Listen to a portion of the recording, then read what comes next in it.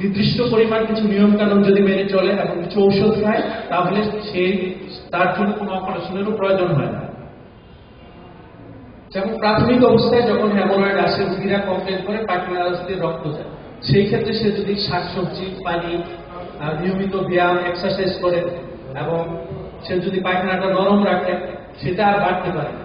আমাদের ক্ষেত্রে বলি নন অপারেটিভ কিছু ট্রিটমেন্ট যেমন ইনজেকশন পায়খানা একটা রিং করিয়ে দিই, সেটাতেই অনেক ক্ষেত্রে কাজ হয়ে এবং কিছু কিছু ক্ষেত্রে কোনো ঔষধেরই প্রয়োজন করে না, শুধুমাত্র ফুডের ভিতরে যদি চেঞ্জ করে ফাস্ট ফুড যদি না খায়, তাহলে তার সেরকম কোনো প্রবলেম হয় না। কিন্তু পেশেন্টরা যখন আসে, এই রোগগুলি যেহেতু গোপনীয় জায়গায় হয়, প্রাথমিক অবস্থায় সবাই জিনিসটা গোপন রাখার চেষ্টা করে। আস্তে আস্তে বাড়তে থাকে, তার চলাফেরার সমস্যা হয়। যখন দেখা যায় সে আর চলতে পারে না, জিনিসটা বসতে পারে না, কষ্ট হয়, তখন ডাক্তারের শরণাপন্ন হয়। সেই ক্ষেত্রে অপারেশনের আর বিকল্প বলে কিছু থাকে। আমরা এই কথাই বলতে চাই, একটা রোগ যখনই আপনাদের কাছে প্রাথমিক অবস্থায় ধরা পড়ে, আপনারা ডাক্তারের শরণাপন্ন হন। রোগটা আগে নির্ণয় হোক, দেখা যাবে অপারেশনের ছাড়াই রোগটা আপনার ভালো হয়ে গেছে। কোনো জটিল কোনো খরচেরও ব্যাপার থাকবে না। অল্প চিকিৎসায় আপনি সম্পূর্ণরূপে আরোগ্য লাভ করবেন। এই যে একটা হ্যামোরয়েড হ্যামোরয়েড যদি এই পর্যায়ে আসে, সেই ক্ষেত্রে আমরা বিভিন্ন রকম অপারেশন করে থাকি। অত্যাধুনিক পদ্ধতি। যেই ক্ষেত্রে তেমন কাটা ছিঁড়ার প্রয়োজন হয় না। একরকম স্টেপলার আমরা একটা গান ইউজ করি লম্ব অপারেশন বলে। সেটা পায়খানা রাস্তায় কাটি না। যেই পয়েন্টগুলি থেকে রক্ত যাচ্ছে মলদানের ভিতর থেকে একটা অংশ কেটে নিয়ে আসে। তাতে করে তার আর সমস্যা হয় না। বাইরেও কোনো কাটা ছিঁড়া থাকে। আমাদের এখানে অত্যাধুনিক যাবতীয় চিকিৎসা হচ্ছে। যেমন অনেক সময় দেখা যায়, এই যে বাড়তি জিনিস, আগে হয়তো বের হইতো, আবার চাপ দিলে ঢুকে যেত। তখন হয়তো রুগীর ব্যথা হয় না সে হয়তো একটু চাপ দিলে ঢুকে গেল। এতে নিয়ে তার খুব বেশি সমস্যা হয় না। কিন্তু আস্তে আস্তে দেখা যায় জিনিসটা পতন হয়ে গেল।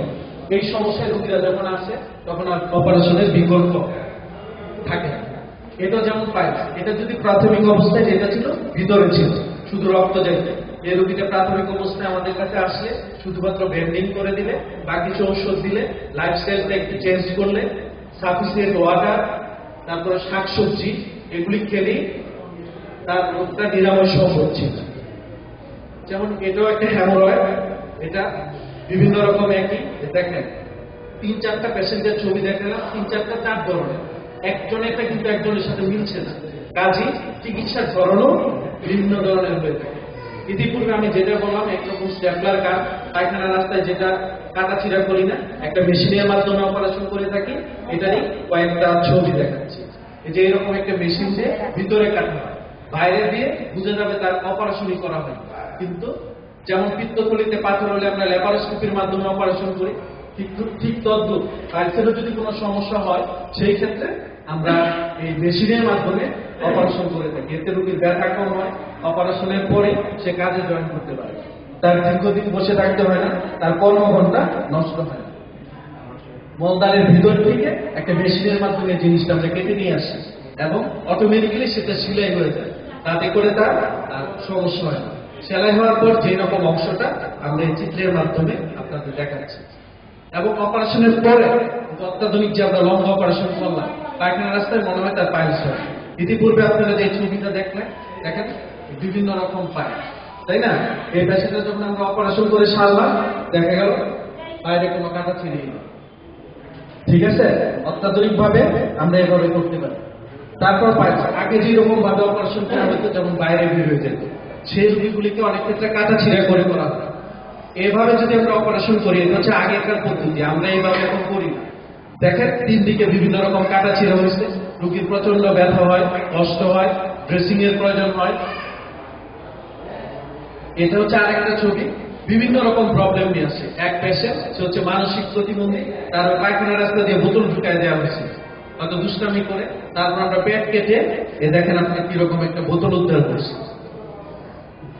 ঠিক আছে? মানসিক প্রতিবন্ধী হয়তো বুঝতে পারে নাই পায়খানা রাস্তায় ঢুকাই দিচ্ছে রুগীর প্রচণ্ড পেট নিয়ে আসছে। সবাই হয়তো মনে করছে রুগীর হয়তো গ্যাস হয়েছে বা পাইলস হয়েছে, কিন্তু আলটিমেটলি এরকম একটা প্রবলেম নিয়ে আসছে।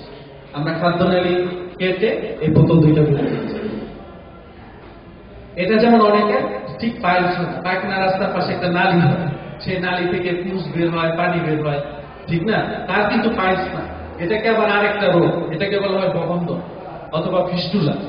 এই রোগের ক্ষেত্রে চিকিৎসা ভিন্ন এই দেখেন, এটা ভবন্তর পায়খানা রাস্তার পাশে ছিদ্র, কিন্তু এটা যোগাযোগ রয়েছে একদম পায়খানা রাস্তা পর্যন্ত। আমরা একটা বুক ঢুকাই দিচ্ছি একটা নল ঢুকাই দিচ্ছি দেখেন একদম পায়খানা রাস্তা